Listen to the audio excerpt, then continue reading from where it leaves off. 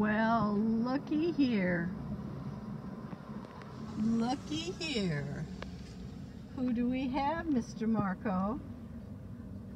Who do we have here? IQ.